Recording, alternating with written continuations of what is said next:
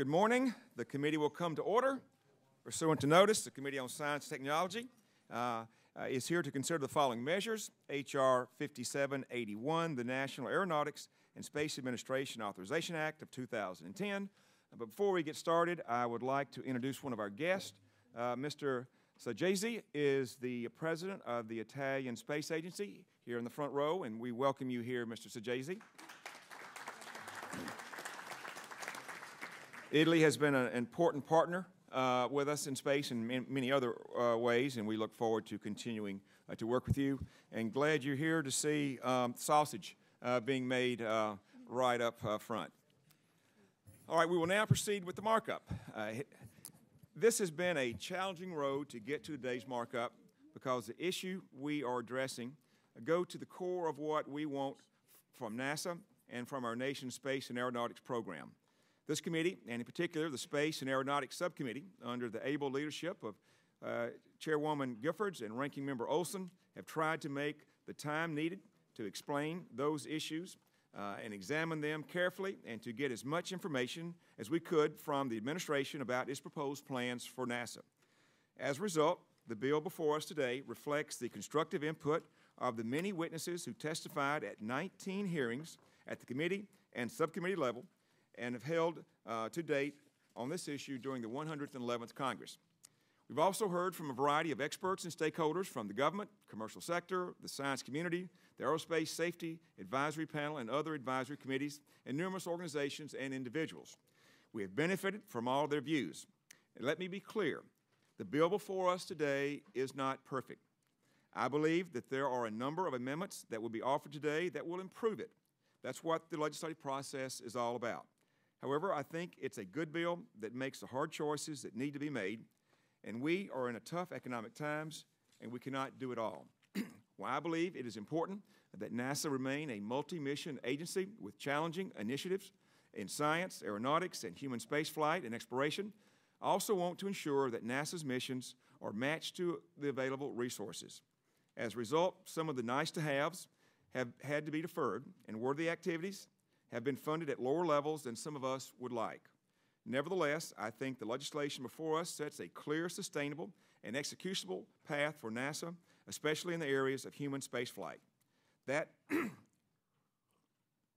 has been a part of the dilemma that we have been confronted with. For all of us, and for all of its accomplishments, the Constellation program uh, was not executable as planned, given the budgetary outlook facing the agency. Unfortunately, it has become clear that the administration's proposed human spaceflight program is not executable under that budgetary outlook either. As a result, we've had to craft an alternative approach that is executable and that has taken some time, but I believe that the bill before us today provides the nation with a productive future for its human spaceflight program, one that can be sustained even in the midst of a budgetary uncertainty. It is in the interest of time that I will not restate what's in the bill.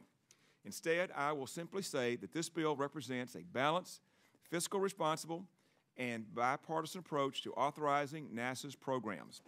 I want to emphasize the fact that it is a bipartisan bill, and that in that regard, I'm gratified that Ranking Member Hall and Ranking Member Olson have joined Chairwoman uh, Giffords and I as original co-sponsors of this legislation. They have made thoughtful and constructive contributions to the bill, and I thank them for that. I imagine that there will be amendments before us today on which of the four of us uh, may disagree. But no one should construe that to mean that we are not united on the need for a strong, robust, and innovative space and aeronautics program for the United States. The bipartisan nature of this bill sends an important message to Congress as a whole, as well as to the administration, that NASA is a national resource worthy of our support. Let me just quickly conclude by saying um, that what in all candor, uh, the Constellation program was brought to us by people uh, that, that had a very sincere interest. We found, though, that as it moved along, that it resulted in a balloon mortgage that we could not afford now. Once again, the program that the administration put forth um, was done in all good faith, but once again, we found uh, that that balloon mortgage. We really have to work within our means here. Uh, even looking at the Senate bill, we are afraid that it is not within those budgetary guidelines. And I'm afraid that the, the passion that we all have on this committee for NASA may not be shared across the board.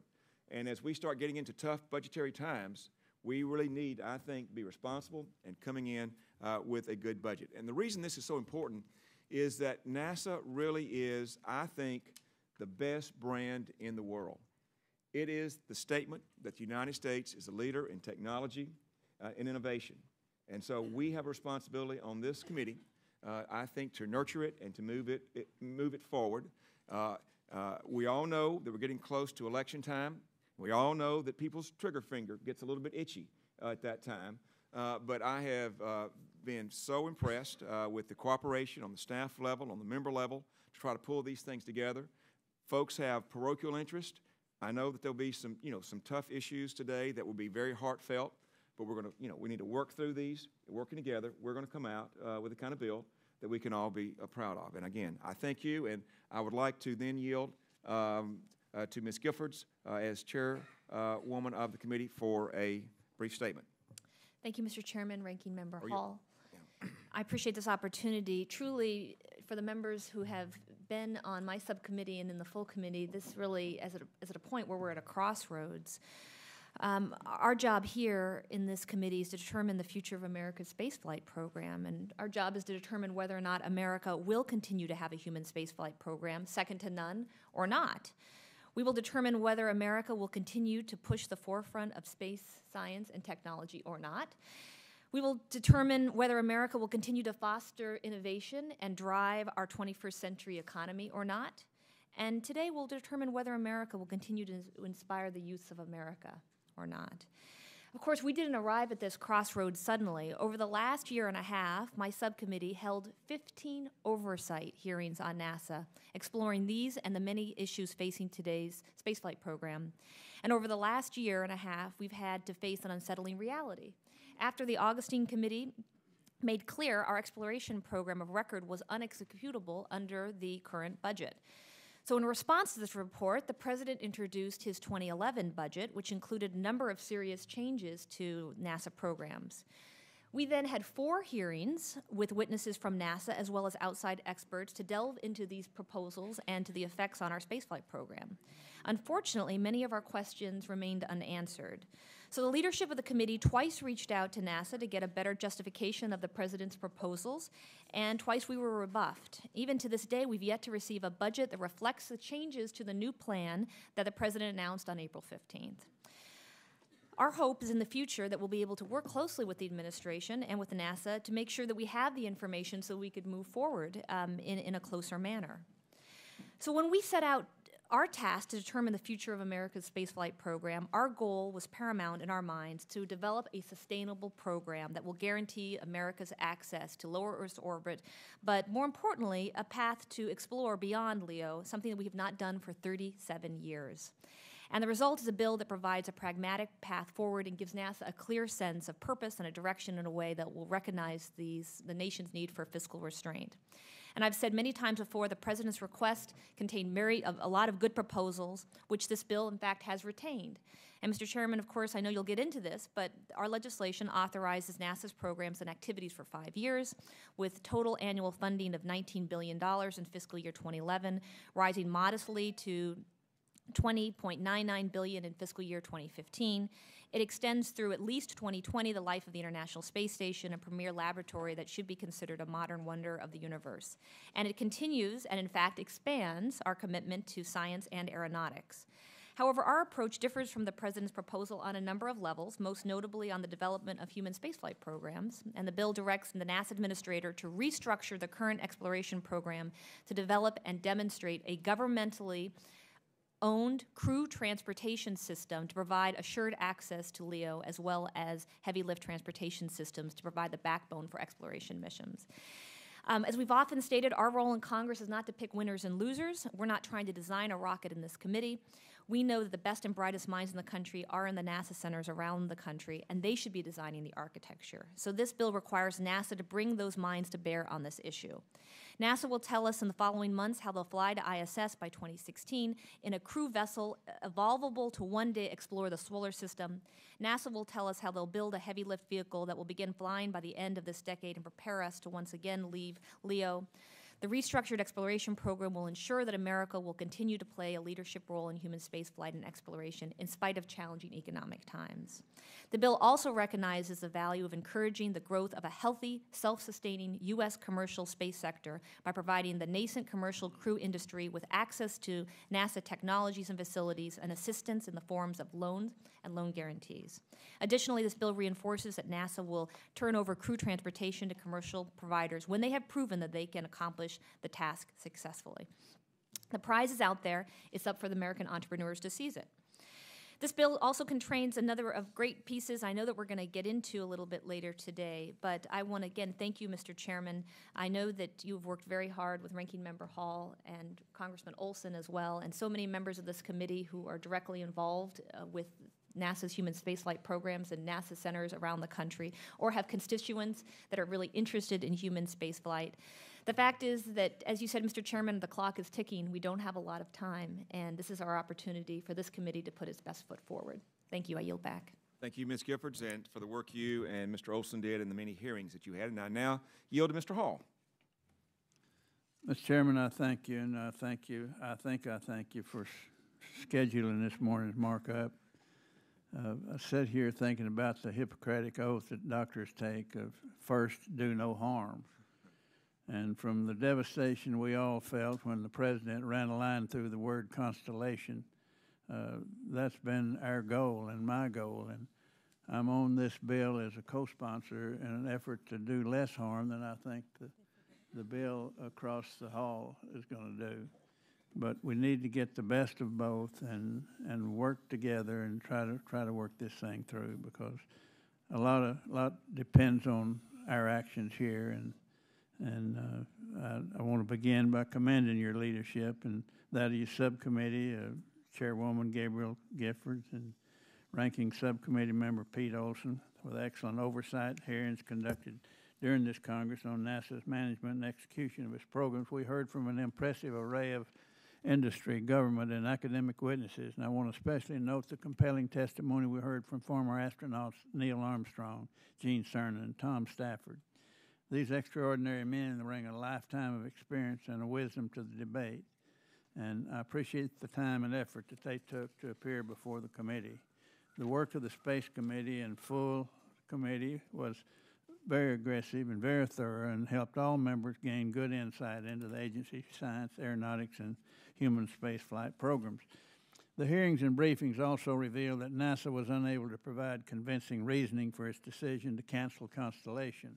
In spite of repeated requests by this committee, NASA failed to provide credible schedules, cost estimates, and a coherent rationale as to why it was necessary to wipe away 10 billion in taxpayer investment in Constellation to start anew with an ill-defined plan that risked taxpayers' money on a commercial-only solution. NASA also failed to offer convincing evidence that its proposed $6 billion investment in a commercial crew initiative would have any reasonable chance of succeeding, or even that careful thought had been given to the basic assumptions about safety, marketability, liability, indemnification, and intellectual property considerations. Mr. Chairman, the bipartisan bill before us today directs NASA to build on key components of Constellation to ensure a robust human space exploration program. It emphasizes that NASA should rely on our investments in the Ares 1 and Orion launch systems to the maximum extent practicable, and that work should be phased to begin a gradual buildup of a heavy lift launch vehicle. This bill also, the bill also includes important policy provisions directing NASA to transition low Earth orbit crew uh, ferry flights to the commercial industry when it demonstrates the capability to NASA's satisfaction. Until that day, however, the least risky path to minimize our reliance on the Russians is to continue developing a low Earth orbit launch system, such as was envisioned by the Constellation program. This bill before us takes the right approach for NASA's other important missions. It sustains a strong and vibrant space science program, enabling new missions to help scientists better understand the evolution of our solar system and universe. It provides funding for important uh, aeronautics uh, research designed to increase the capability and the capacity of our national airspace system to make aircraft quieter, safer, and more fuel efficient. This bill also fully funds the administration's request for NASA's Space Technology Program, This initiative is designed to revitalize NASA's long-term, high-risk research and development activities with the goal of enabling a broad set of new capabilities ranging from propulsion systems, materials, sensors, and other technologies we'll need to extend our reach into the deep space. Mr. Chairman, given that our members received a copy of the text just three days ago, I ask that we continue to work together between now and consideration on the House floor to improve the bill so that all of us can enthusiastically support it. I also want to recognize the hard work done by your staff in crafting this bill and the bipartisan manner by which they've worked with our staff throughout the course of the Congress, with special uh, kudos extended to Dick Obermann. He's been very open with us, and he's we're appreciative of all of his efforts. I also want to thank Ken Monroe and Ed Feddeman on my staff for their excellent work and guidance through this process. Uh, given the budget constraints as well as the turmoil surrounding the direction of our human space flight program, it's vitally important that this good piece of legislation be enacted as soon as possible. I support this bill. I urge all members to lend their support to it as well, and I thank the other members of my staff who have worked day and night to help me it's important that we get this legislation through Congress, get a bill, and get it to the president. And at that time, this time, Mr. Chairman, I yield what time I have left and what time he has to consume to uh, Subcommittee Chairman uh, Pete Olson. Well, I want to thank my great friend and fellow Texan, Mr. Hall, for yielding me a little time. I'm pleased to be here today to discuss the National Aeronautics and Space Administration Authorization Act of 2010. We promised a NASA authorization bill this year, and I'm proud to say we're delivering on that promise here today in committee. I want to extend a very special thanks to our chairman, Mr. Gordon, and our ranking member, Mr. Hall, as well as the distinguished chairwoman of the Space and Aeronautics Subcommittee, Ms. Giffords, along with the very dedicated and hardworking staff at the full committee. This authorization bill is very important to me personally. It's also important to the district I represent, Houston, Texas. But above all else, this authorization bill is important to our nation. And so I thank my colleagues again for bringing this to the committee and for exhibiting that in the spirit of doing what's right for America, bipartisan solutions exist in Washington, D.C. I yield back the balance of my time. Thank you. Additional opening statements will be placed in the record at this time. I think we have something like 30-something amendments, so I believe everybody's going to have a chance to, uh, to have their say uh, on this bill today.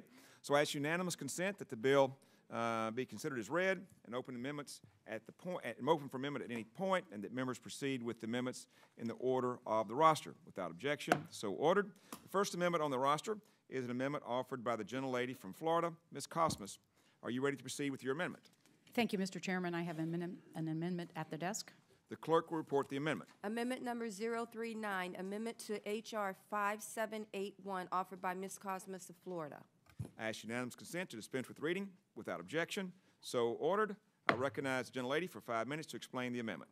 Thank you, Mr. Chairman. Um, I and many of my colleagues here in the room have always maintained that a NASA led vehicle is essential in order for us to maintain, I would say, our U.S. leadership and perhaps supremacy in space. And this bill strongly supports that premise.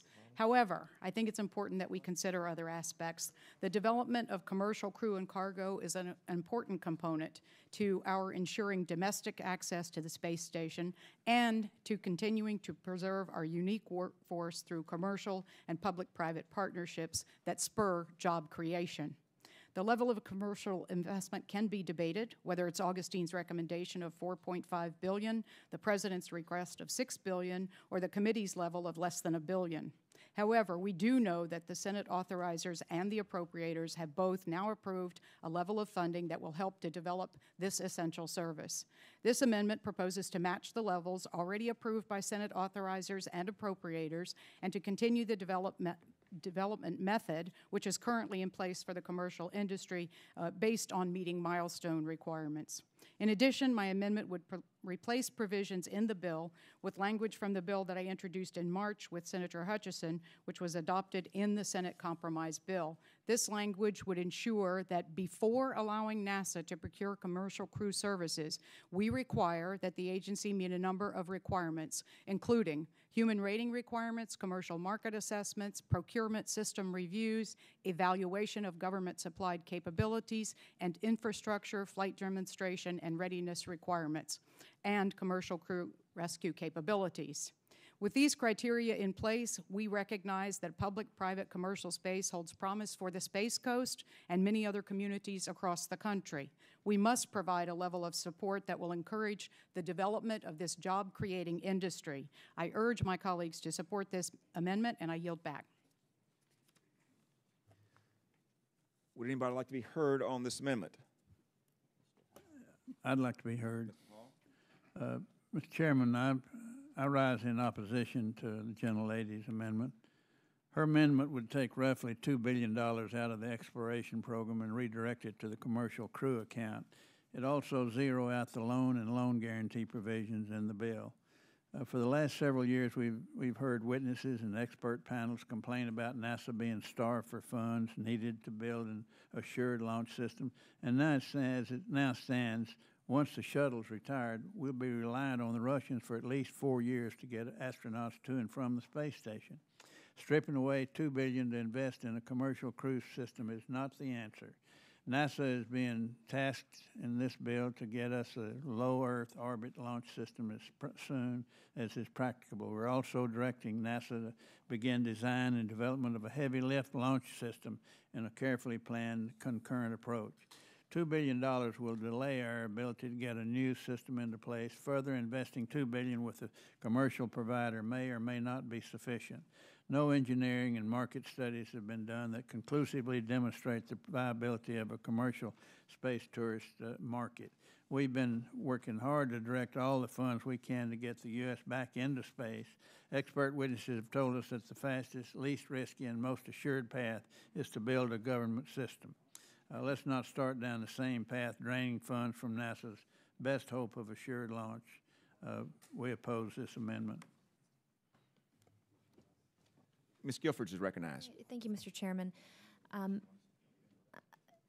like I said in my opening statements, we have some real issues being able to understand um, the development of the commercial systems that have been proposed by the administration, and I think, think that comes over into the um, you know the the amendment here. Um, the aerospace corporation's own analysis raised some serious questions about the credibility of the administration's funding plan for commercial crew development, and my concern is that this amendment would make some significant cuts to the restructured exploration program, ultimately weakening, weakening its viability.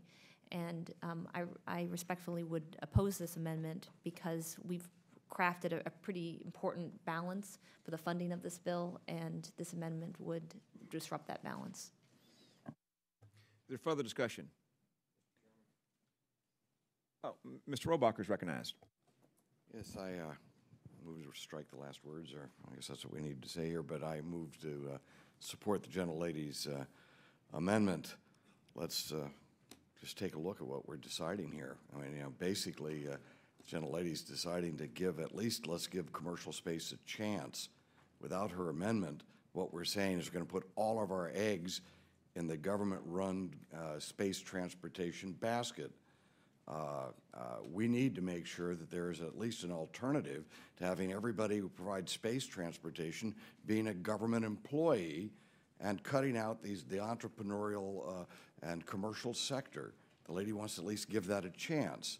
Now, I have uh, two amendments uh, later on that actually go a lot further, and obviously, if uh, the lady's uh, amendment passes, I will be withdrawing my amendment, or passes or fails, I'll probably be withdrawing my amendment, because uh, if, if uh, we, what she's proposing is a, is a compromise position that permits us to move forward with commercial and doesn't just sort of cut the legs out from under uh, those people in the commercial sector that would like to build an industry somewhat like perhaps the industry of the airline industry. We have reached a threshold, we're going to have to make a decision. Is space transportation going to be something that is nothing more than a government enterprise run by, paid for by the taxpayers and run by government employees? Or do we believe that the airline industry in the United States was a good idea when we reached the threshold that the private sector could provide transportation uh, to the public on jets and other type of vehicles?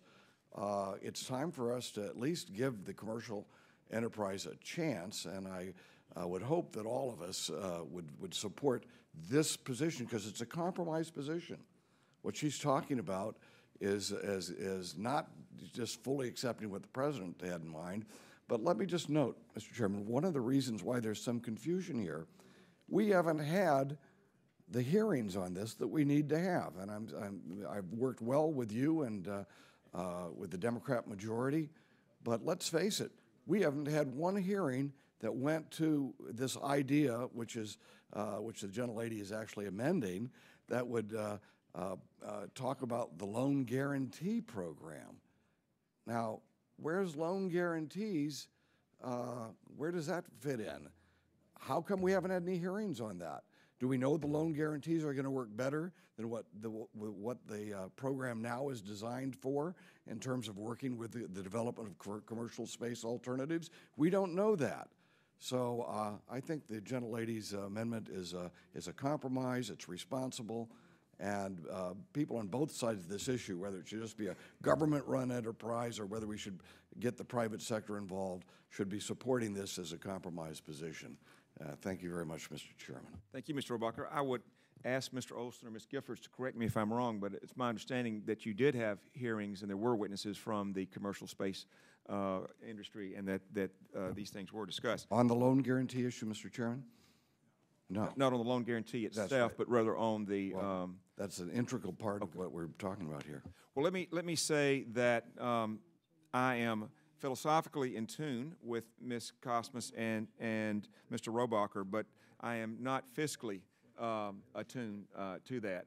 I would like to see us have alternatives. Uh, I think that we have left the options within this bill in other areas for a commercial um, uh, option, which I, I hope that can move forward. But this is this comes with a 2.3 billion dollar price tag, and it's going to slow down, as Mr. Uh, Hall pointed out, uh, other programs. So uh, again, as I say, I'm, I'm, uh, I'm philosophically but not fiscally um, attuned to this, and for that reason, uh, we'll have to oppose the amendment.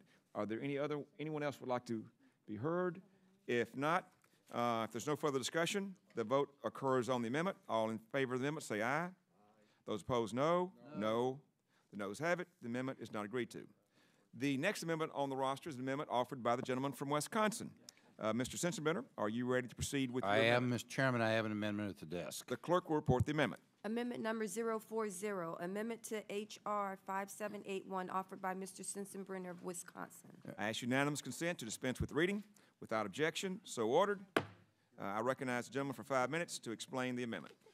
Mr. Chairman, uh, this amendment is kind of a truth and statistics and truth and data amendment. Uh, what it does is it refers to the overlap between the climate data at the University of East Anglia in the United Kingdom and the climate data that NASA has uh, assembled. Uh, ClimateGate has been uh, uh something that has been discussed extensively in the global warming climate change community since the November 19, 2009 release of more than 1,000 emails and 2,000 documents from climate scientists associated with the Climate Research Institute at the University of East Anglia.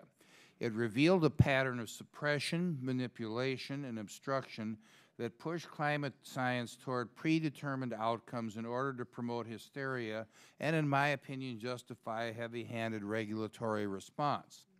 The scandal was not confined to one British university, as it is widely acknowledged that there is substantial overlap between the CRU's temperature records and the temperature records at NASA.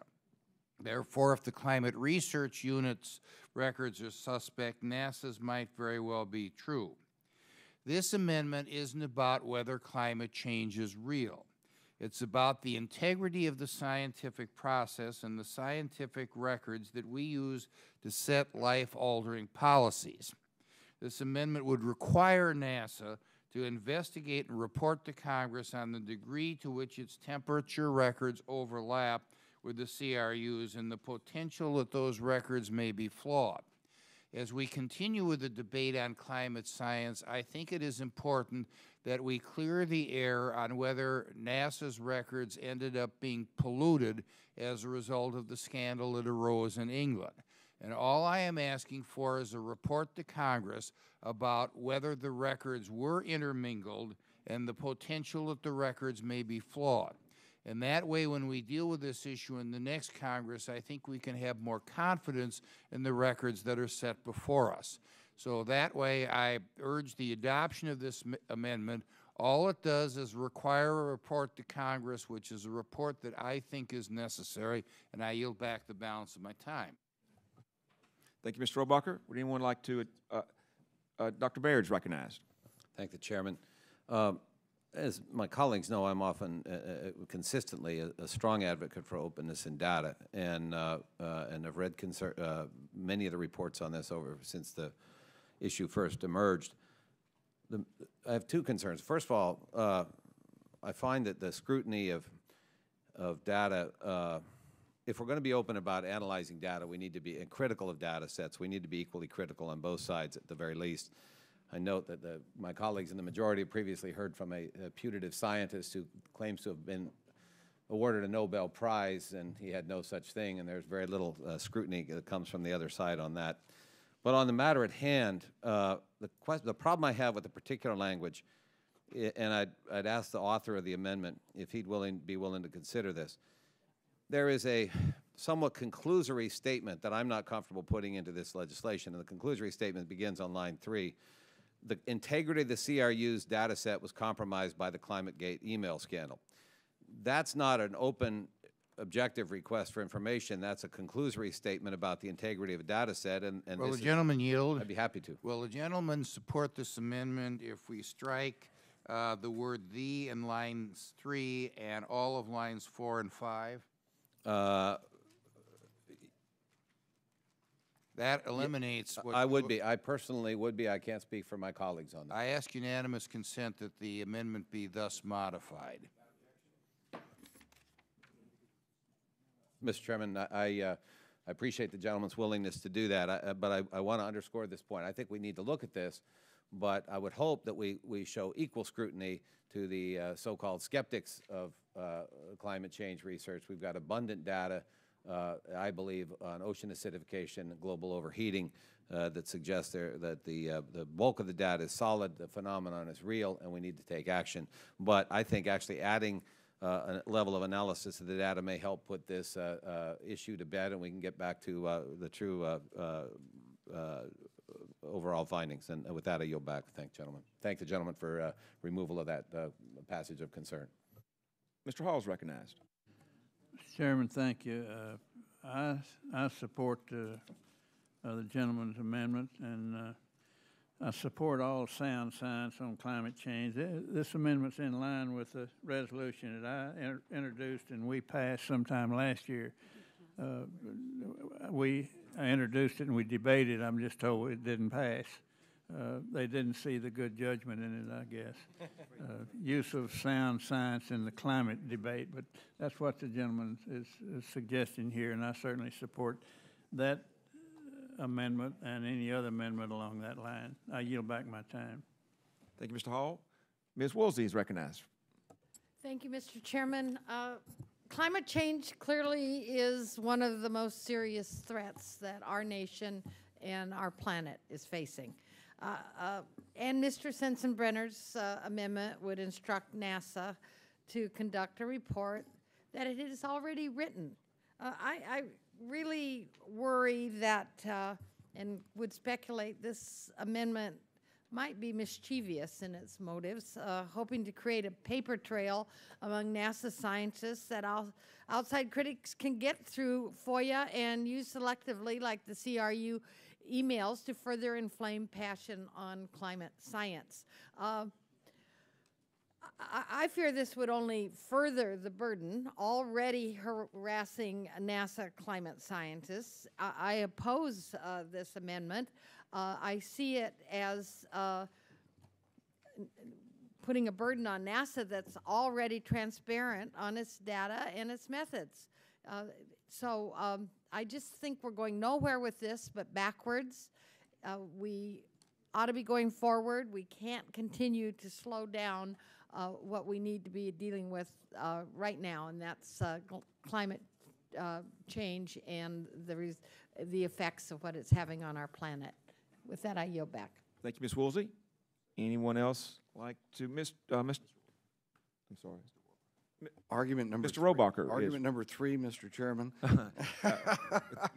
Without, uh, All right, that's all right. Mr. Chairman, uh, uh, let me just note that I remember the hearings that we had here in which uh, investigated whether or not uh, Mr. Hansen uh, from NASA, who was the guru of global warming for NASA, uh, had been censored or in some way uh, restricted uh, in, in, a, in an objectionable way uh, when the last administration required that he put at the bottom of his papers uh, that had not been approved by other by, by NASA as a whole that this was his opinion, uh, and that was it. That saying we were just requiring a uh, uh, that type of disclaimer that uh, that the all of NASA did not endorse his findings. Uh, we had a hearing to determine whether that was an act of, uh, of, of censorship or if that was an act of, uh, that undermined uh, uh, the honesty of scientific research. And, uh, you know, okay, we, we heard that. We heard the hearing and heard what, what the charges were. That charge was nothing as compared to what we've seen from uh, about this this whole crisis uh, on information from East Anglia and the and the American researchers that have been tied in uh, to global warming and the indication uh, that uh, through these intercepted emails that there's been dramatic fraud that has taken place. There's been the suppression of information by these very same people, and we have not had one hearing on that that I remember. Has the Science Committee had a hearing on this? We, have, we didn't have a hearing on, on whether or not there should be a loan guarantee that we're now relying upon, uh, uh, and now we're not, we didn't have a hearing on, on this as well. Mr. Chairman, these are very significant issues. And uh, uh, to the degree that we paid any attention to Mr. Hansen's complaint that he was uh, that he was required to have a disclaimer at the bottom of his documents, as compared to the information that we have now about the wholesale uh, doctoring of information uh, by research, by global warming researchers, people who are operating with government funds. Uh, this is a disgrace. We should, we're not doing our job here if we haven't had a hearing on this, and we haven't. And uh, that's why I think Mr. Sensenbrenner needs to have this passed in order to emphasize that this is a, is a major issue that should not just be shrug our shoulders and say, well, we're going to move on now, even though there hasn't been any real investigation of the issue. So uh, I would support this amendment. Thank you, Mr. Rohrabacher. I recognize myself. Um, uh, Mr. Hall has volunteered to give you a hearing next year if, um, if that all things work out. Um, let me, uh, let, let me, just for the record, let me say this. NASA already makes all of its data and modeling available to the public. Anyone can go look at it via the internet. NASA scientists already have a 37-page article that goes into careful detail about how they model climate data and, dis- and discusses differences with the CRU. That article is in a draft form and out for peer review, but it is available to anyone to read on the NASA website. Now, with that said, um, uh, we have over 30 amendments today that, that deal with the core of NASA. Uh, we could talk a great deal about climate change. I think this is it's important, but a little off message here. And uh, I think that uh, Mr. Uh, Dr. Baird has made a, a, a worthwhile suggestion to Mr. Sensenbrenner, uh, who, in his normal jovial way, uh, accepted. And so um, uh, I think that we should take this rare moment and celebrate it and, um, and, and support uh, the modified Sensenbrenner amendment. Is there further discussion? Mr. Miller. Mr. Chairman, I did recognize that you invited me not to speak. Um, The Oversight Subcommittee would gladly have held a hearing uh, had any of this been within the United States. Uh, This is in East Anglia, which is beyond the subpoena power of our subcommittee. We cannot require documents to be produced from East Anglia. We cannot require witnesses to attend hearings and give testimony from East Anglia. Uh, but we have all seen in the last few days uh, just what selective editing can do to the truth, how badly it could mangle it. If there, if there had not been a complete videotape of Shirley Sherrod's complete uh, uh, speech to the NAACP in Georgia, she would have been forever tarred, her assassin, her, her character forever, uh, her reputation forever ruined uh, as a racist, when in fact she was telling a story of racial reconciliation that I can tell you as a Southerner uh, has happened on both sides by whites and by African Americans over the last generation or two. What happened with respect to the to the uh, emails in East Anglia is that a group of emails that were intended to be private, that were unguarded, uh, were stolen and selectively edited, and we have no idea what what the total picture looked like. And it is beyond our subpoena power to find out. But there have been three inquiries in in the United Kingdom, uh, which is not exactly a developing uh, a third world country. Uh, our sister committee, the equivalent committee of this one, the Science and Technology Committee of the House of Commons, uh, did a full investigation and, and concluded that all of the findings of the CRU are credible, uh, that there was no subversion of the peer review process, and that there was no reason to doubt any of the findings of the CRU with respect to climate change. There was a second panel uh, by the Royal Society, which is the equivalent of our National Academy of Sciences, um, uh, chaired by Lord Oxburgh, uh, which reached the same conclusion. There was no evidence of any deliberate scientific uh, malpractice or misrepresentation, that the findings of the CRU with respect to climate change were credible.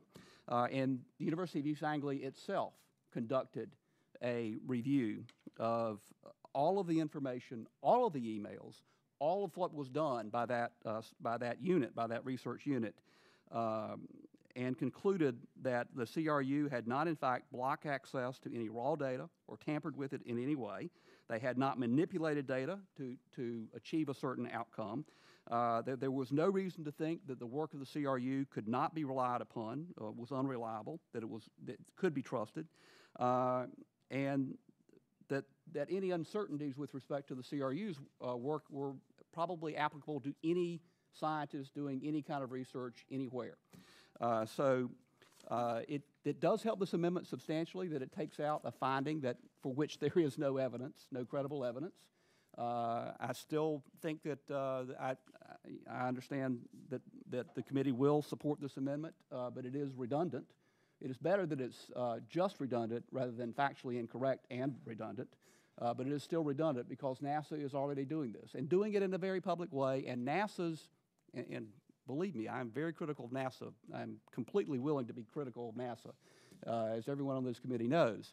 Uh, but with respect to their climate data, uh, it has been open, it has been transparent, it is on the internet. You can see it, uh, you can subject it, uh, it is subject to peer review.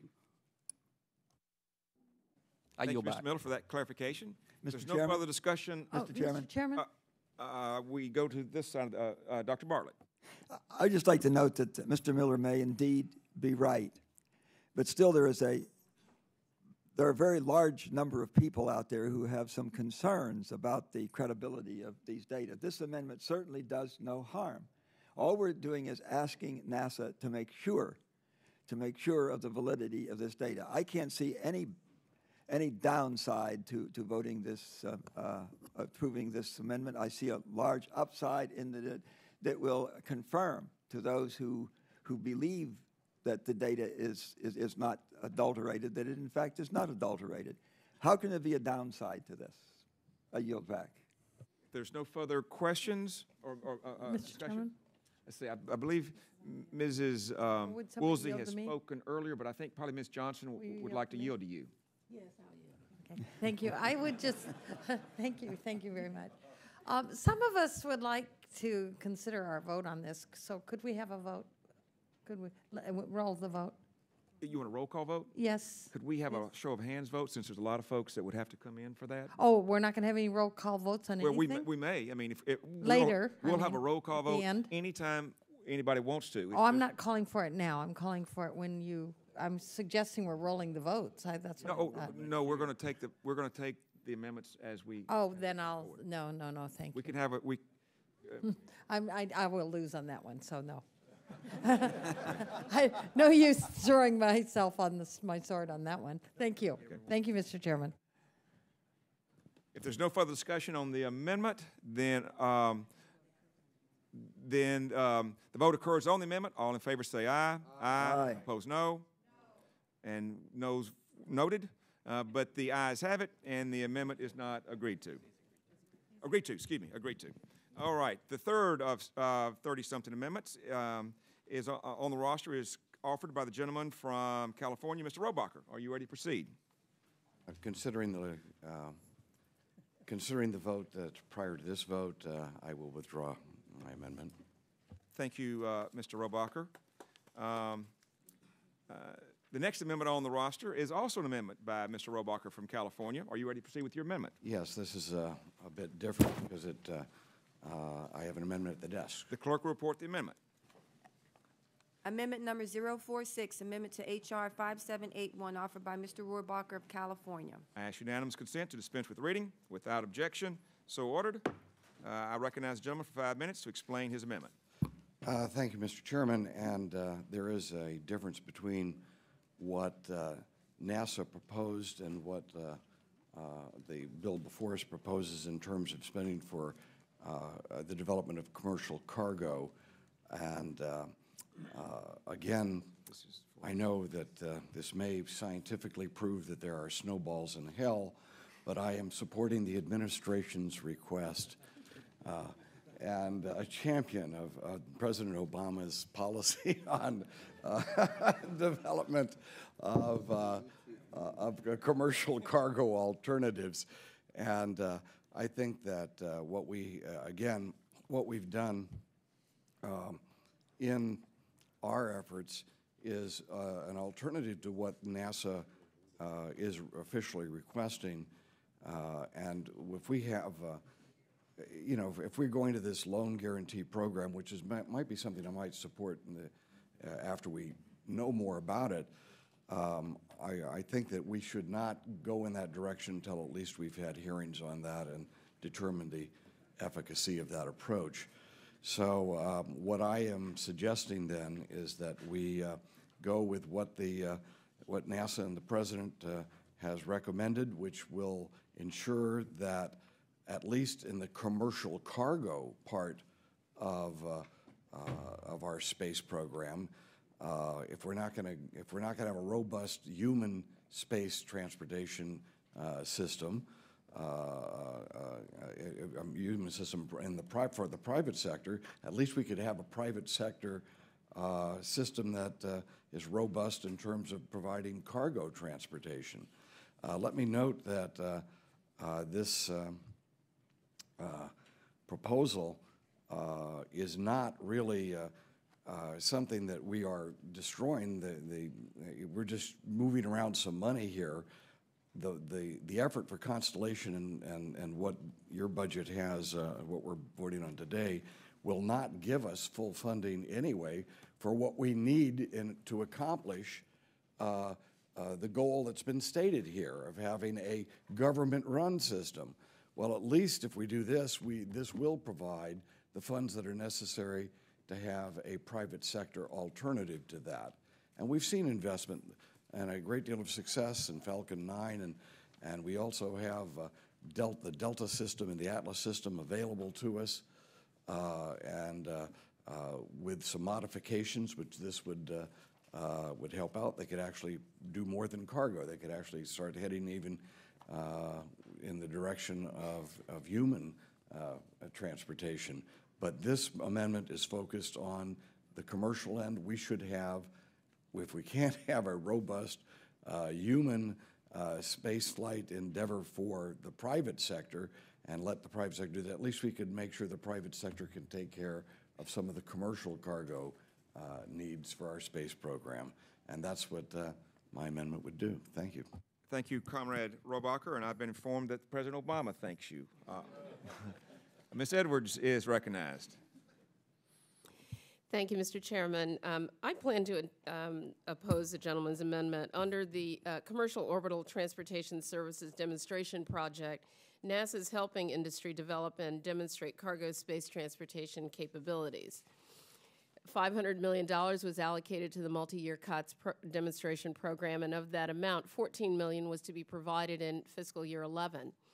However, the FY11 budget request instead includes $312 million uh, for commercial cargo development efforts. That amount represents an increase in the COTS program of over 62% relative to the original COTS funding commitment, which is extraordinary in this uh, time. During the committee's review of NASA's budget request, committee staff asked the reason for the $312 million increase. Here's what NASA said. 288 million would be an augmentation to the current COTS agreements for additional milestones that NASA would like to add to the program to provide additional capabilities or tests. 14 million would be for currently negotiated milestones expected to be completed in fis fiscal year 2011, part of the original 500 million COTS funding commitment. 10 million would be for program operations for the commercial crew and cargo office at Johnson Space Center in fiscal year 2011. NASA also confirmed that neither SpaceX nor Orbital, Orbital, the two COTS program participants, requested the additional funding of $288 million. And both they and NASA say that the increased funding is not required to meet planned demonstration flight milestones. The $14 million, uh, for million dollars for currently negotiated milestones is expected to be completed in fiscal year 2011 and authorized in this bill for fiscal year 2011.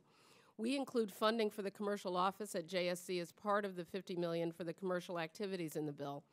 But this environment of tight budgets where we have to make tough choices, the bill chooses not to add significant additional funding to a program that's been progressing satisfactorily since uh, 2006 and doesn't need it to meet its milestones.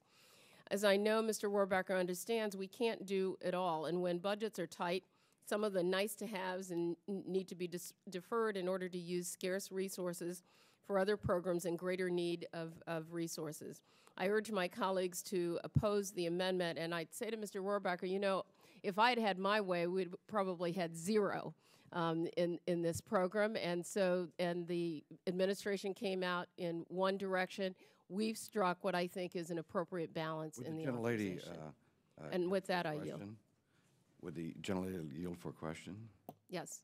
Um, the money that we're talking about, this $312 million, if it's not spent for the development of commercial, on a commercial alternative uh, and providing that incentive, uh, where do you think the money will be spent? And if the money is spent where, where it will go, will that provide us anything that will work?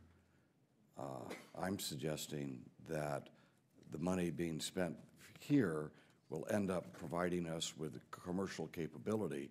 But the money, if the $112 million isn't spent here, will it not just go into a program that even by the current plan will not come to fruition and not provide us any added capability? Well, if I could reclaim my uh, time, we have a we have a really balanced program and a balanced uh, budget. I mean, the fact is that um, even the commercial enterprises that are identified here didn't ask for the money, um, and so it seems to me as we're trying to figure out ways in which we can create balance throughout uh, the agency and the authorization and you know support this sort of emerging development of a commercial spaceflight uh, uh, cargo capacity um, that this budget and the authorization um, herein I think really reflects that and at the same time um, enables uh, NASA to move forward in a way that's responsible. So with that, uh, Mr. Chairman, I yield.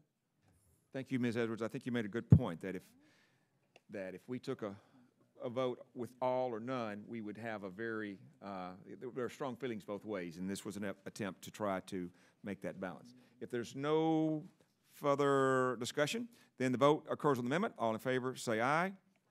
Those opposed, no. No. The noes have it. Amendment is not agreed to.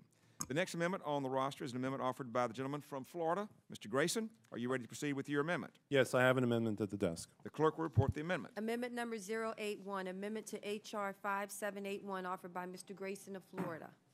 I ask unanimous consent to dispense with the reading. Without objection, so ordered.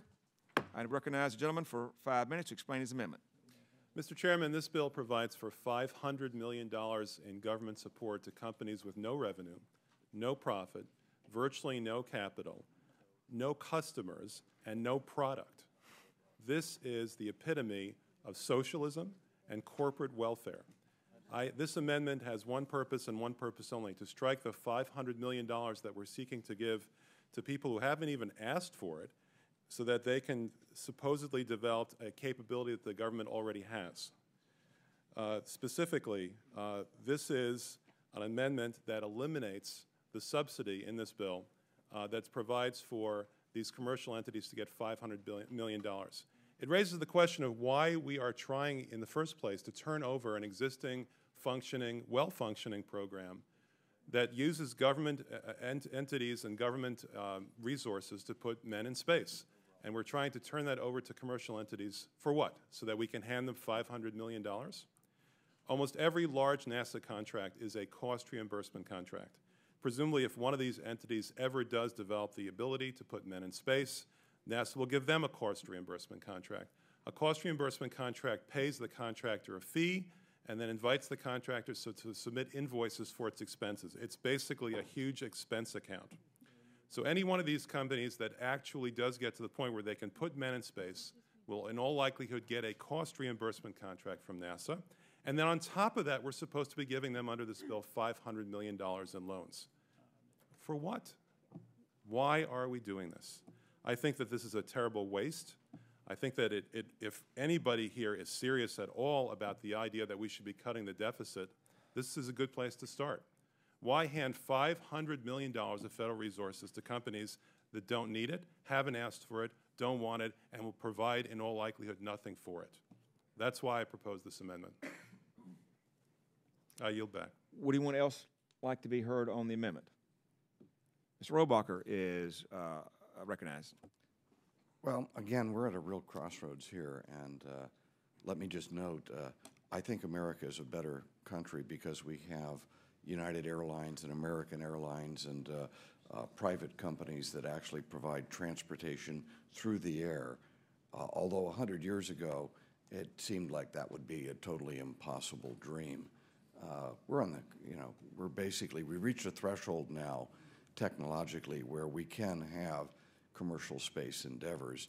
But all along, as we know, uh, in the development of, of uh, private industries and, and, and taking technologies and taking it in the private sector, and uh, uh there has, there's never been a, a uh, you know, say, a, uh, a pristine free enterprise approach, and there has been some government involvement, and the degree is whether or not some of us believe in some government involvement versus some people don't believe there should be any private sector involvement at all.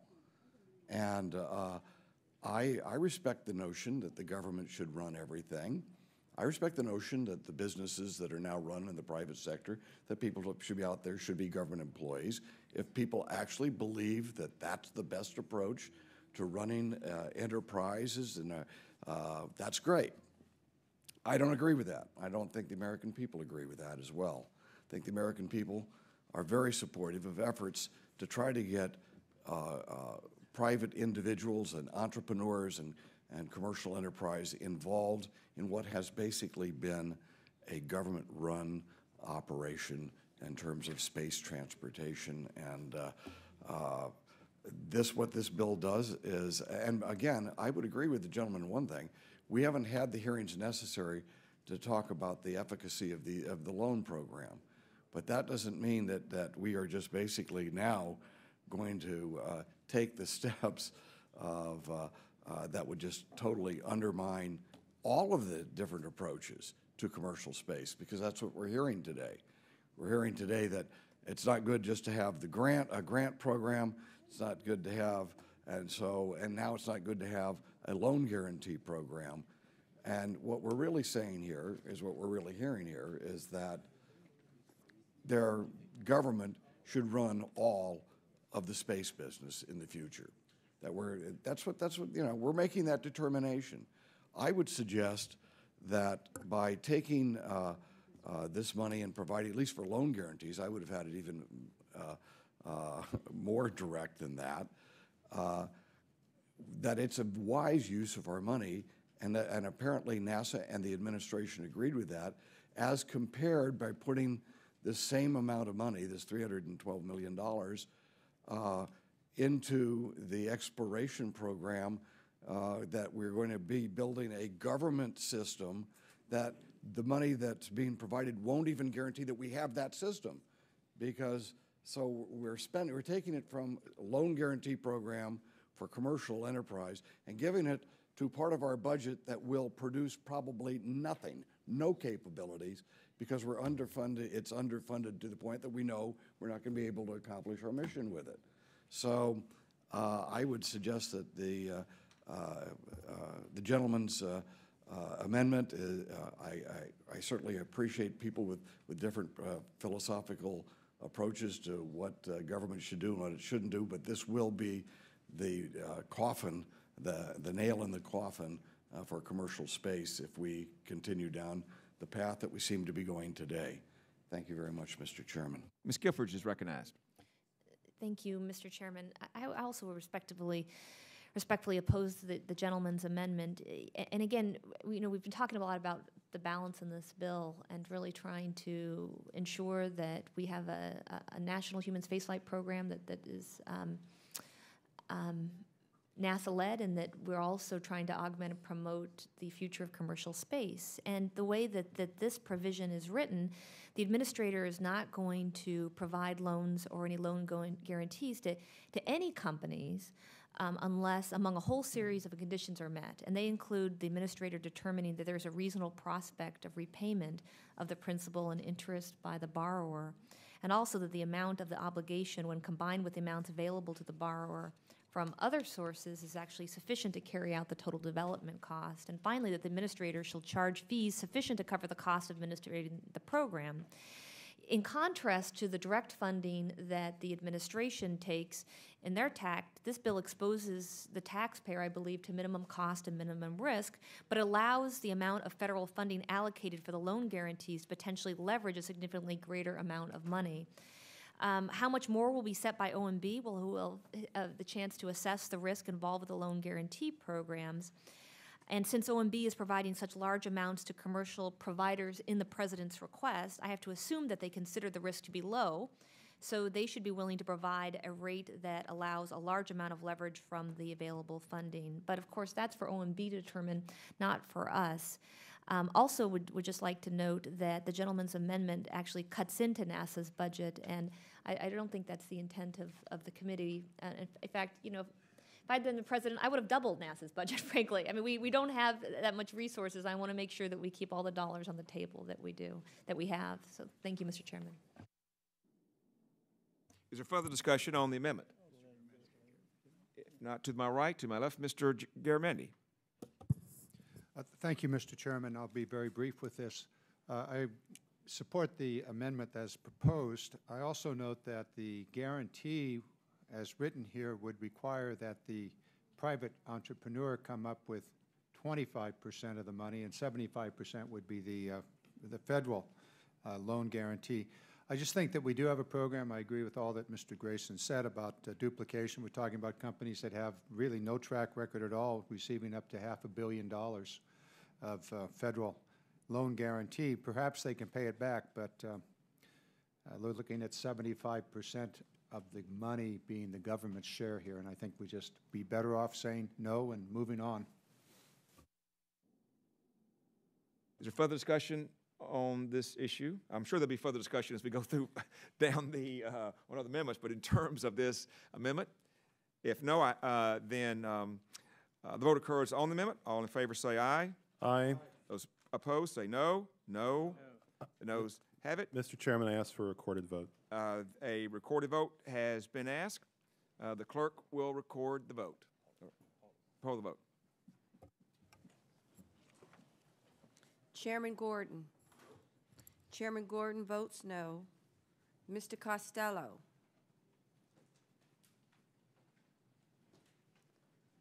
Ms. Johnson. Ms. Johnson votes aye. Ms. Woolsey. Ms. Woolsey votes no. Mr. Wu.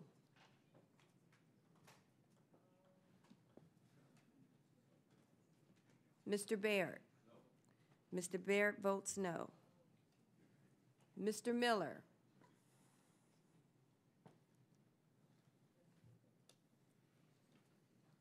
Mr. Lipinski.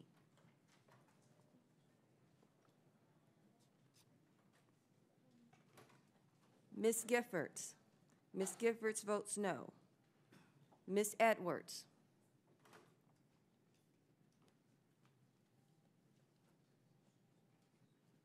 Ms. Fudge. Ms. Fudge votes no. Mr. Lujan. Mr. Lujan votes no. Mr. Tonko. Mr. Tonko votes no. Mr. Rothman.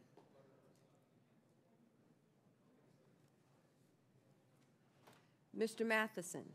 Mr. Matheson votes no. Mr. Davis.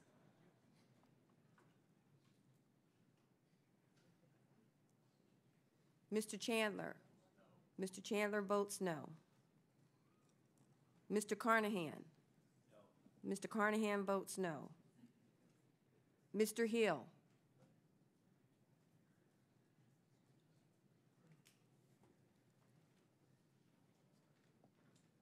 Mr. Mitchell.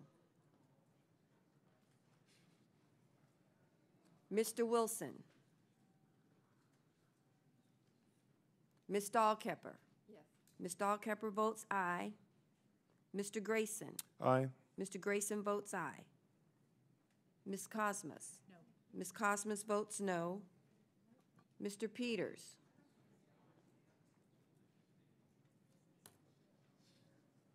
Mr. Garamendi. Mr. Garamendi votes aye. Mr. Hall. Mr. Hall votes no. Mr. Sensenbrenner. Mr. Sensenbrenner votes no. Mr. Lamar Smith. Mr. Rohrabacher. Mr. Rohrabacher votes no. Mr. Bartlett. Mr. Bartlett votes no. Mr. Ehlers. Mr. Ehlers votes no. Mr. Lucas. Mr. Lucas votes no. Mrs. Biggert. Mr. Akin. Mr. Neugebauer. Mr. Inglis. Mr. Inglis votes no. Mr. McCaul. Mr. McCaul votes no. Mr. Diaz-Balart. Mr. Bilbray. Mr. Adrian Smith. Mr. Adrian Smith votes no. Mr. Broun. Mr. Broun votes aye. Mr. Olson. Mr. Olson votes no.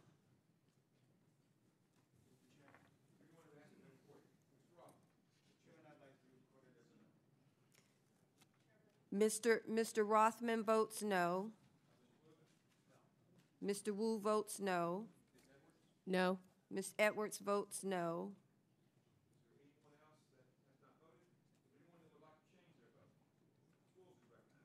Mr. Chairman, I'd like to move from a no to a yes.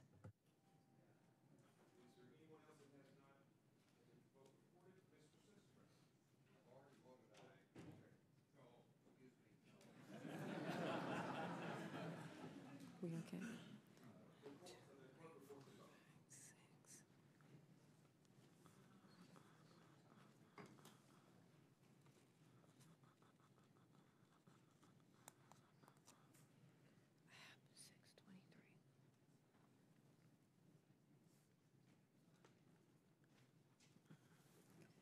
Mr. Chairman, six members vote aye and 23 members vote no. The ayes have it, the amendment is not, I mean, the noes have it, the amendment is not agreed to. Um, And the next amendment on the roster is an amendment offered by the gentlelady from Florida, Ms. Kosmas. Are you ready to proceed with your amendment? Mr. Chairman, thank you. I have an amendment at the desk. The clerk will report the amendment. Amendment number 040, amendment to H.R. 5781 offered by Ms. Kosmas of Florida. I ask unanimous consent to dispense with reading without objection. So ordered. I recognize the gentlelady for five minutes to explain her amendment. Thank you, Mr. Chairman. I, I think it's fair to say that all the uh, discussion around amendments for today's bill uh, focus on our attempts to find a balance in what we're proposing to do. That is to say, we want to ensure that we maintain America's leadership with a NASA-led vehicle, but we are looking for opportunities to uh, increase the use of innovation and, and uh, entrepreneurship. And this amendment proposes to do just that by suggesting we authorize and fund from within the exploration budget a flagship technology demonstration program.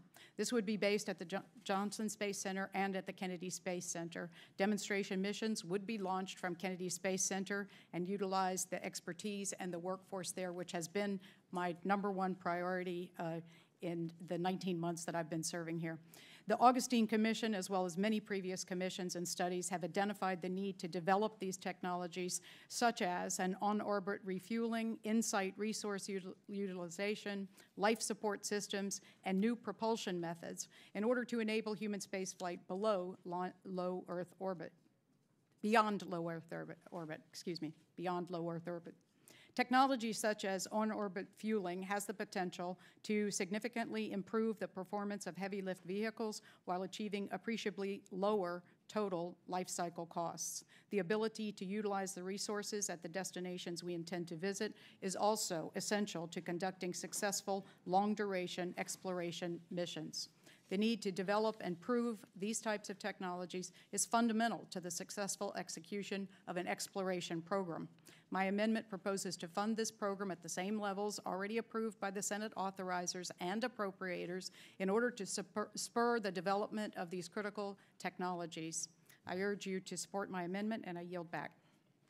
Thank you, Ms. Kosmas. And Mr. Hall is recognized. Mr. Chairman, Mr. Chairman, I oppose this amendment. We've worked very hard to ensure that there's a follow-on program to the sh- space uh, shuttle that would assure the U.S. has a vibrant space exploration program.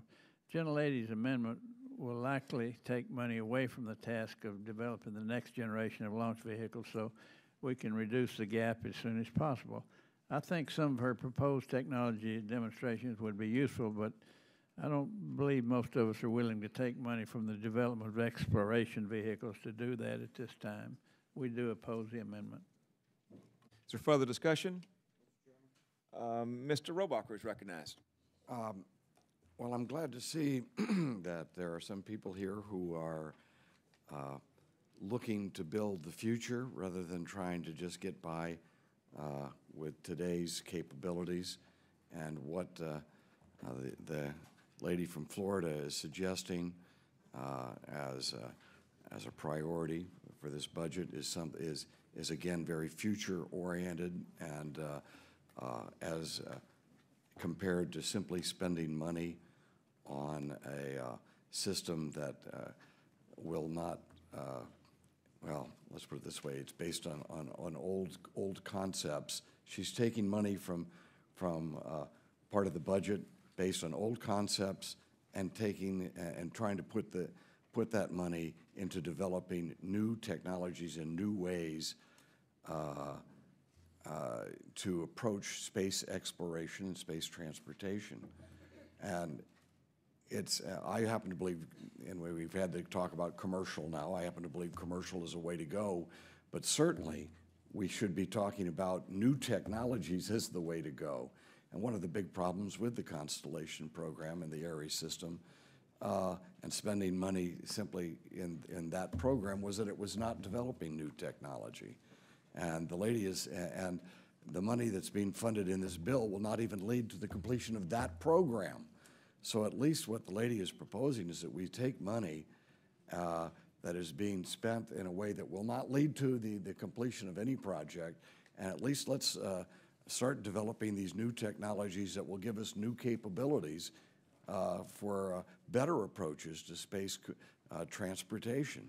And uh, I would not be supporting it if it, uh, uh, if it just added more money, but I believe this is, uh, now we're actually shifting money away from something that is less creative and will give less benefit in the end to, to America than developing these new uh, concepts of space transportation like refueling, which I believe, and I agree with the lady, would, will open up a whole new a world or a whole new universe of, of exploration for humankind uh, if we perfect that approach, rather than just relying on the old approach, which is just building bigger rockets, bigger behemoths to launch into the air.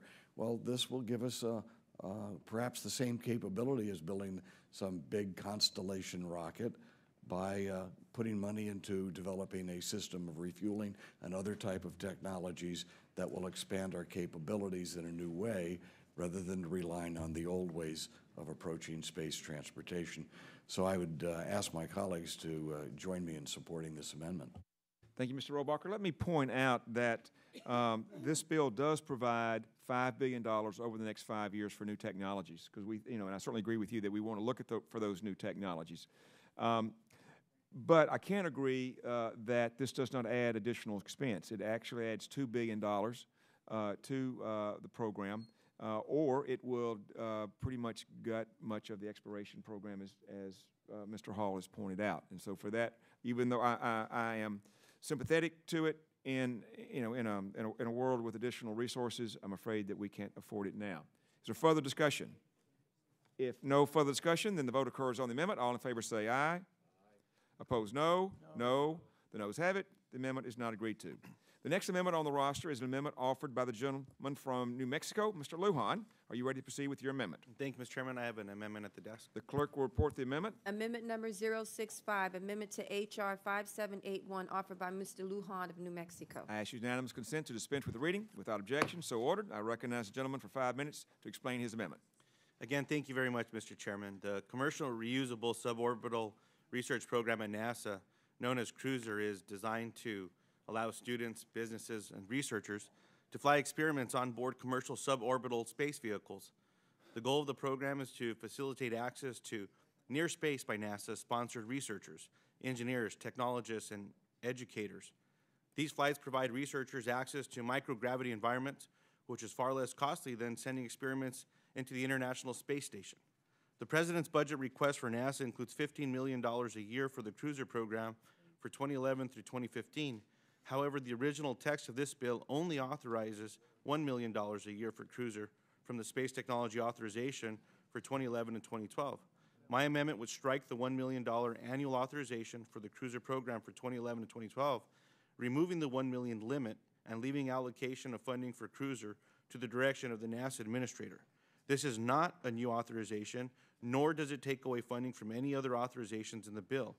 My amendment also clarifies management and other requirements of the program which are consistent with critical suborbital science missions. My home state of New Mexico is currently reaping the economic benefits of commercial suborbital spaceflight through our Spaceport America facility near Las Cruces. About 500 New Mexicans are now on the job, creating the first commercial spaceport in the world.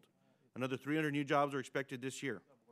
New Mexico Space spaceport is inspiring students to study math and science and pursue careers in STEM fields, which will develop our future economy.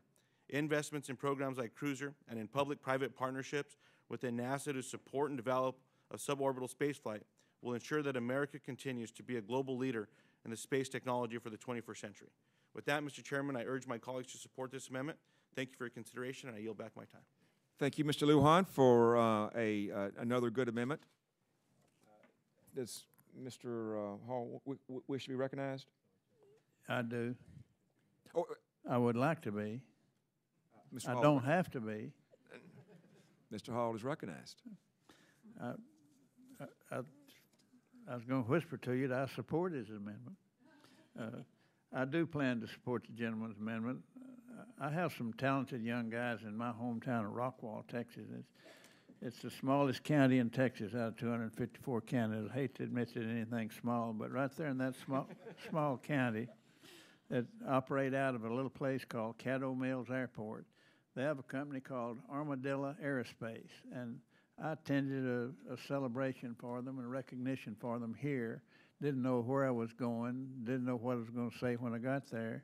But NASA had a prize program, and they had won a part of the prize program and received a half a million dollars. And I've seen a video of some of their work. I hope to get out there and see them in person one of these days. But they're doing some very interesting things and have some good ideas for commercial reusable uh, suborbital flight vehicles.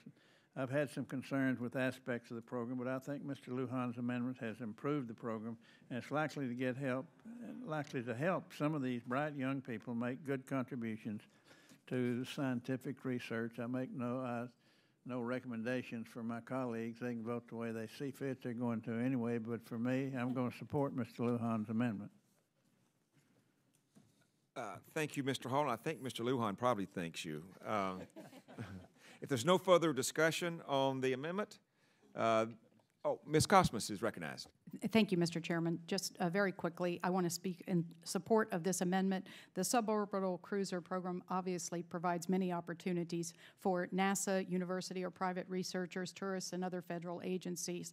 Uh, The thing that I have identified as my number one priority also might be affected here, as these uh, opportunities can use the shuttle landing strip and other facilities at Kennedy Space Center, and therefore, uh, my workforce and the expertise that they have may be put to good use through the uh, support of this program. Thank you. Thank you, Ms. Kosmas. Does anyone else wish to be heard? If, if not, then the vote appear, uh, occurs on the amendment. All in favor say aye. Aye. Opposed, no. The ayes have it. The amendment is agreed to. The next amendment on the roster is an amendment offered by the gentleman from, from Georgia, Dr. Broun. Are you ready to proceed with your amendment? Yes, Mr. Chairman, I have an amendment at the desk. The clerk will report the amendment. Amendment number 001, amendment to H.R. 5781, offered by Mr. Broun of Georgia. I ask unanimous consent to dispense with reading. Without objection, so ordered. I recognize the gentleman for five minutes to explain the amendment. Thank you, Mr. Chairman. I was excited to hear you as you uh, made your opening remarks about being fiscally responsible. And I want to thank you, Ranking Member Hall, Chairman, Chairwoman Gifford, and Congressman Olson, along with the staff, for all of y'all's hard work in producing this bipartisan bill that will allow NASA to refocus its core mission in a fiscally responsible way. I know this has not been an easy task and many difficult decisions had to be made. While I believe this bill is a good faith effort towards a balanced approach and addresses the right priorities, I'm still concerned with the heavy burden of debt and the huge deficits looming before us. Therefore, I offer my amendment today that would authorize these programs for three years instead of five years, as the current language does. Again, I appreciate by the strong bipartisan effort in developing this bill, and I urge my colleagues to support my amendment. Mr. Chairman, I yield back. Thank you, Mr. Dr. Broun. I want to excite you some more in that uh, I support your amendment. Um, but I also hope, uh, and part of that is because I hope in three years uh, that there will be more money available, that we will have a better economy, and that we will be able to carry out things that Ms. Kosmas, Mr. Mr. Rohrabacher, and other good amendments that have been before us. Mr. Chairman, would you yield? Uh, certainly, Dr. Broun. Uh, I'm excited that you accept my amendment. I've been trying to be very quiet over here and let Mr. Robark do- talk, but, uh, but uh, thank you, and I agree with you, and I associate myself with your last remarks about. You're always a more money, constructive so part of it. Thank this. you so much, sir. Is there further discussion on the amendment? If no, the- the vote occurs on the amendment. All in favor say aye. Aye. Opposed, no. The ayes have it. The amendment is agreed to. The next amendment on the roster is an amendment offered by the gentleman from Wisconsin, Mr. Sensenbrenner. Are you ready to proceed with your amendment? I am, uh, Mr. Chairman, I have an amendment at the desk. The clerk will report the amendment. Amendment number 003, amendment to H.R. 5781, offered by Mr. Sensenbrenner of Wisconsin. I ask unanimous consent to dispense with the reading. Without objection, so ordered. I recognize the gentleman for five minutes to explain his amendment. Uh, Mr. Chairman, conspicuously absent from this legislation is any mention of the Constellation Program. While that might suit the prerogative of the administration, it is not consistent with the intent of this Congress or this committee. Congress has repeatedly affirmed its support for the Constellation program through the previous authorization bills and by the sentiments expressed by members on both sides of the aisle. I'm not here to defend NASA's mismanagement of its resources. Without question, budgetary constraints force us to reevaluate how each program has been managed, but the wholesale elimination of Constellation will have detrimental effects on our struggling economy, set back our space program several years, and result in significant termination costs while surrendering the progress that has been made in recent years. This amendment makes it clear that this committee and this Congress continue to support the Constellation program. Now, what I'm here to say is, is that I'm afraid that the omission of the word constellation in the text of this bill will be interpreted by the administration as saying that we are going back on what we have previously stated in statements and in authorization legislation that has been previously passed. And all this amendment does is to insert the words constellation program and after support for. So this makes it clear that this is not a 180 by the committee. It is not a 180 by the Congress.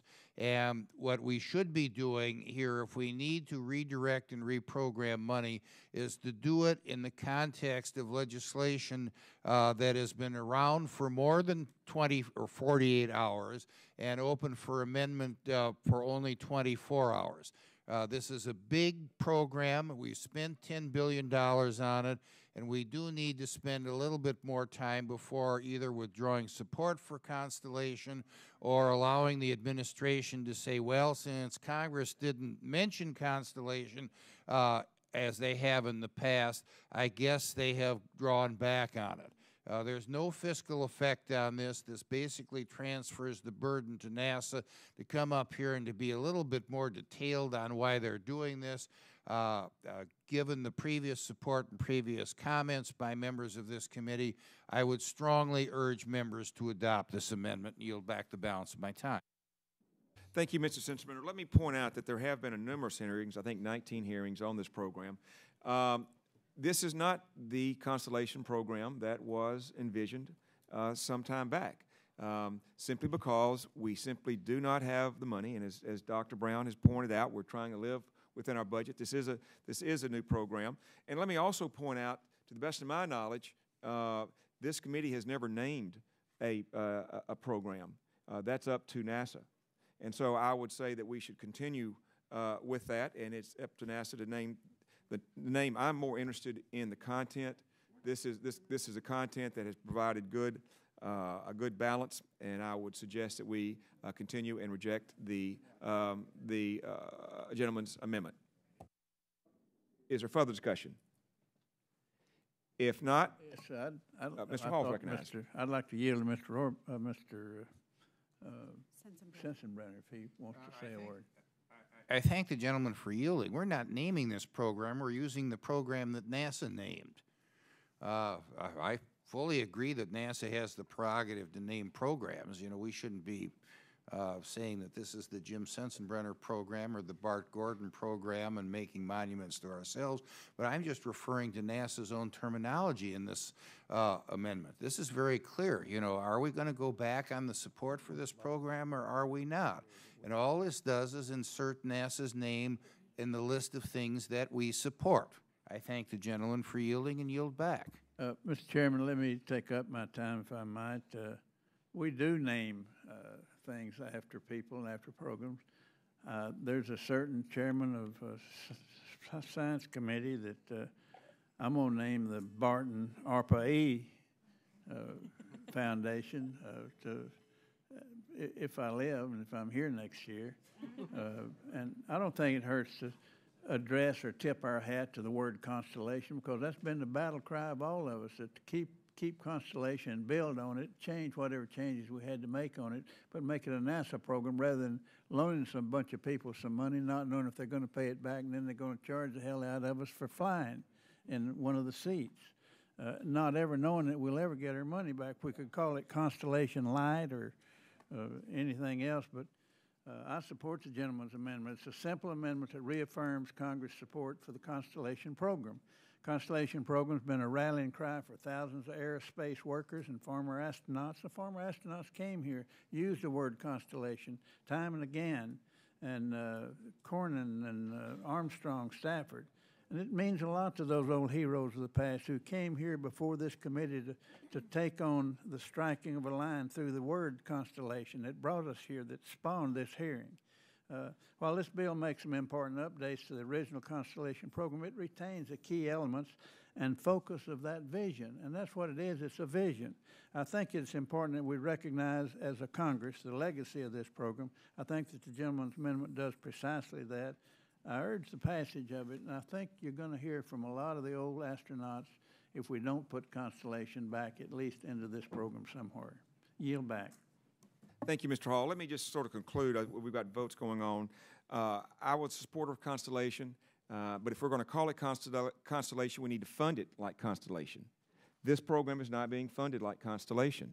This is, a- this is when you read the bill, uh, this clearly is a hybrid with a lot of the Constellation uh, investments that's been made, but it's something different. Once again, I think uh, this committee has never uh, named a program. Uh, It's up to NASA. I, I, I think that Mr. Hall has a good idea of changing that precedent next year, and I would welcome him to do that in, in the, in the, the uh, context of what he was talking about. But he, we're here today, and so if there's no further discussion, uh, then um, uh, those in favor of the motion, say aye. Opposed, no. No. Uh, I think the, well, we're, uh, I, I want to do the right thing here. Let's see. What, what, what- let's, have, let's have a show of hands. Let's just, Like the ayes had it. well, that's one. Let's, let's, let's have a show of hands. Uh, if those that are favor say aye.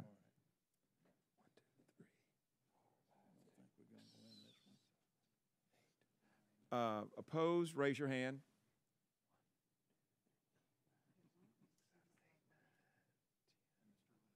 The, the uh, noes uh, have it. Mr. Chairman, I demand a recorded vote. You can get it. Um, You're bringing them back. S- nine. The clerk will will record the vote. Chairman Call- Gordon. Nope. Chairman Gordon votes no. Mr. Costello. Ms. Johnson. Ms. Woolsey. Ms. Woolsey votes no. Mr. Wu. Mr. Wu votes no. Mr. Baird. Mr. Baird votes no. Mr. Miller. Mr. Lipinski. Ms. Giffords. Ms. Giffords votes no. Ms. Edwards. Ms. Edwards votes no. Ms. Fudge. Ms. Fudge votes no. Mr. Lujan. Mr. Lujan votes no. Mr. Tonko. Mr. Tonko votes no. Mr. Rothman. Mr. Rothman votes no. Mr. Matheson. Mr. Matheson votes no. Mr. Davis. Mr. Chandler. Mr. Chandler votes no. Mr. Carnahan. Mr. Carnahan votes no. Mr. Hill. Mr. Mitchell. Mr. Wilson. Mrs. Dahlkemper. Mrs. Dahlkemper votes no. Mr. Grayson. No. Mr. Grayson votes no. Mrs. Kosmas. Ms. Kosmas votes no. Mr. Peters. Mr. Garamendi. Mr. Hall. Mr. Hall votes aye. Mr. Sensenbrenner. Mr. Sensenbrenner votes aye. Mr. Lamar Smith. Mr. Rohrabacher. Mr. Rohrabacher votes no. Mr. Bartlett. Mr. Bartlett votes aye. Mr. Ehlers. Mr. Ehlers votes aye. Mr. Lucas. Mr. Lucas votes aye. Mrs. Biggert. Mr. Akin. Mr. Neugebauer. Mr. Inglis. Mr. Inglis votes aye. Mr. McCaul. Mr. McCaul votes aye. Mr. Diaz-Balart. Mr. Bilbray. Mr. Adrian Smith. Mr. Adrian Smith votes aye. Mr. Broun. Mr. Broun votes aye. Mr. Olson. Mr. Olson votes aye.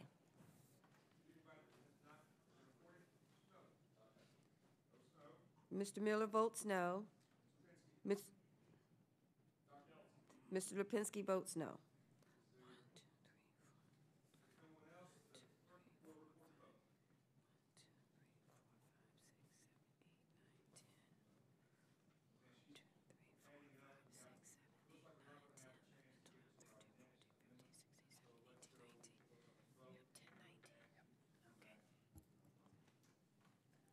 Mr. Chairman, 10 members vote aye and 19 members vote no.